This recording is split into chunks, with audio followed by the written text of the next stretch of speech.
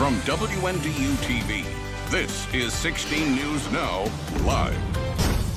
Almost 1.7 million people will undergo a knee or hip replacement this year, and recovery is quicker than ever before. Now, new technology is allowing patients and their doctors to track their progress without coming into the office. Marty Salt has more. In the summer, I do biking, a little bit of swimming, uh, a lot of hiking and walking, and some golf.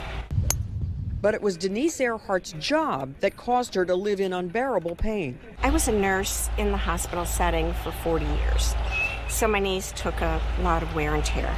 After living in pain for two years, Denise opted for a total knee replacement. The whites, the metal, the plastic. Orthopedic surgeon Jeffrey DeClaire performed the procedure and offered a unique way to track her progress through her Apple Watch which will track step counts, stride length, uh, heart rate, uh, and a variety of other data points that we don't normally track as a surgeon.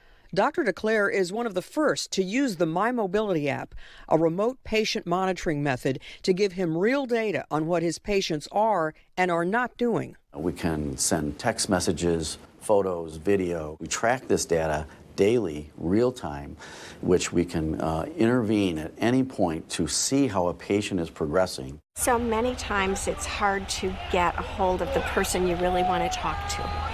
And to get that rapid response back was incredible.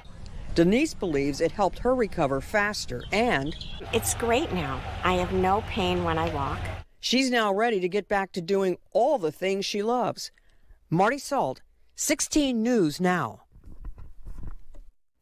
And if you'd like to learn more about this new tech, just head to our website and click on this story.